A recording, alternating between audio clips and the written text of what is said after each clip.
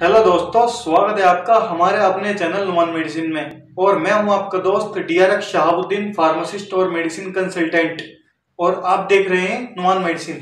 तो आज के इस वीडियो में हम जो बात करेंगे दोस्तों, वो बात करेंगे मेट्रोजिल 400 सौ टैबलेट के बारे में। इस मेट्रोजिल 400 सौ टैबलेट की पूरी जानकारी दोस्तों इस वीडियो में देंगे। जैसे कि ये जो मेट्रोजिल टैबलेट होती है, इसको कहाँ कहाँ यूज़ में लिया जाता है, क्या इसकी प्राइस रहती है, क्या इसकी पैकिंग रहती है और क्या क्या इसके साइड इफ़ेक्ट आते हैं और क्या इसकी डोज रहती है तो पूरी जानकारी दोस्तों इस वीडियो में हम आपको मेट्रोजिल चार सौ टैबलेट के बारे में देंगे। तो आप वीडियो को आखिर तक देखें। अगर आप वीडियो को आखिर तक देखते हैं, तभी आप इस दवा के बारे में पूरी नॉलेज ले पाएँगे दोस्तों। तो चलिए दोस्तों, बढ़ते हैं वीडियो की तरफ़। तो मेट्रोजिल 400 सौ टैबलेट इसके अंदर जो कॉम्पोजिशन होता है, इसके अंदर जो साल्ट होता है दोस्तों, वो होता है मेट्रोनिडाजोल मेट्रोजिल जो होता है, ये इसका ब्रांड नेम होता है। जो कि इसको कंपनी द्वारा दिया गया है, जो इसको बनाती है, उस कंपनी द्वारा इसको मेट्रोजिल नाम दिया गया है। इसके अंदर जो साल्ट होता है, वो मेट्रोनिडाजोल होता है चार सौ में। और मेट्रोनिडाजोल जो होता है, वो एक एंटीबायोटिक और एंटी प्रोटोजोल इफ़ेक्ट देता है। एंटीबायोटिक और एंटी प्रोटोजोल दवा होती है दोस्तों। और इसको बनाने वाली कंपनी की बात करें, इसको मैन्युफैक्चर जो किया है, वो किया है जेबी केमिकल्स फार्मास्यूटिकल कंपनी ने इसको मैन्युफैक्चर किया, बनाया है दोस्तों। और इसकी प्राइस की बात करें तो ये जो है बीस रुपए का स्ट्रिप आता है, एक पंद्रह टेबलेटों का एक स्ट्रिप आता है इसका।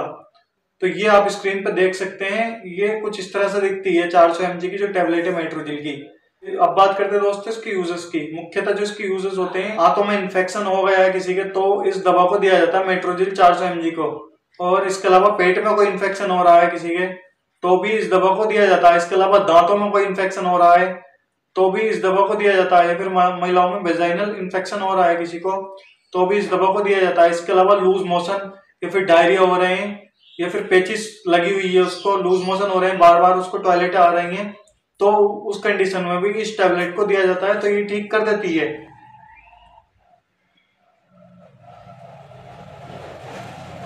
इसके अलावा यूट्रेस में कोई इन्फेक्शन हो गया है तो भी इस दवा को दिया जाता है। इसके अलावा लिकोरिया है किसी को लिकोरिया की शिकायत है किसी को तो भी इस दवा को दिया जाता है मेट्रोजिल को। फिर लंग्स इन्फेक्शन में भी इस दवा को दिया जाता है दोस्तों। इसके अलावा पैक्टिक अल्सर और लीवर एप्सेसिस में भी इस दवा को दिया जाता है मेट्रोजिल चार सौ एम टैबलेट को। इसके अलावा भी किसी और यूज़ में डॉक्टर अपनी नॉलेज के आधार पर इस दवा को ले सकते हैं दोस्तों। तो ये इसके कुछ मुख्य यूजेस थे। अब बात करते हैं इसके साइड इफ़ेक्ट की।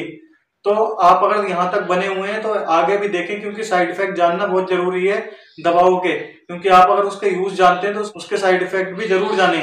तो इसके जो साइड इफ़ेक्ट होते हैं, जैसे कि कॉमन इसके साइड इफ़ेक्ट होते हैं नोजिया वॉमिटिंग होता है।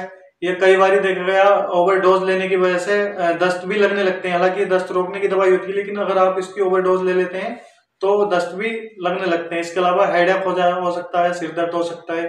मुँह का टेस्ट बिगड़ सकता है, फिर वज़न भी कम हो सकता है। इसके अलावा मुँह सूख सकता है। अब बात करते हैं इसके कॉन्ट्रा इंडिकेशन की, यानी कि किस किस कंडीशन में इसको नहीं दिया जाता दोस्तों। किस किस जगह पे कॉन्ट्रा इंडिकेटेड होती है। तो मानसिक बीमारी है किसी व्यक्ति को, किसी महिला को तो उस कंडीशन में इस टैबलेट को नहीं दिया जाता। मतलब दिमाग से रिलेटेड कोई परेशानी है, उसको मानसिक कोई बीमारी है तो इस दवा को नहीं दिया जाता। ब्लड रिलेटेड कोई डिसऑर्डर है तो भी इस दवा को नहीं दिया जाता। फिर प्रेगनेंसी के फ़र्स्ट ट्राइमेस्टर जो होता है, एक से लगाकर तीन महीने तक तो इस दवा को नहीं दिया जाता। इसके अलावा एल्कोहल एल्कोहलिक कोई पेशेंट है एल्कोहलिक मरीज़ है कोई तो भी इस दवा को, उसको भी नहीं दिया जाता। इसके अलावा भी कोई और बीमारी है तो आप अपने डॉक्टर को बताएँ कि आपको ये बीमारी है।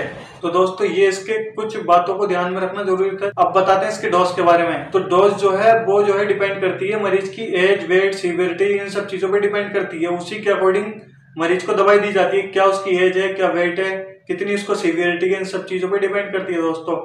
तो कॉमन जो डोज होती है, इसमें एडल्ट डोज जो होती है, वो चार सौ की टैबलेट बीडी यह सुबह शाम दिया जाता है।